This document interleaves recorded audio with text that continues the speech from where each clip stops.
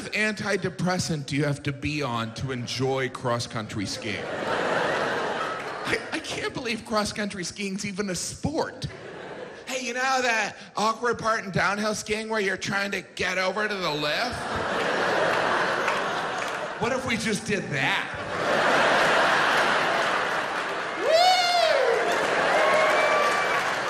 This is fun. And to turn around, you know what? Don't turn around. Let's go across the country.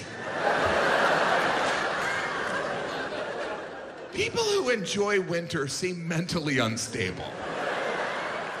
Right? Some of those winter activities should get you committed. It's like, look, we love you. We're just worried. I mean, yesterday we caught you walking through the woods with tennis rackets tied to your feet. This morning we saw you sweeping the frozen lake. What's next? You sitting in a sled being pulled by dogs? Get some help.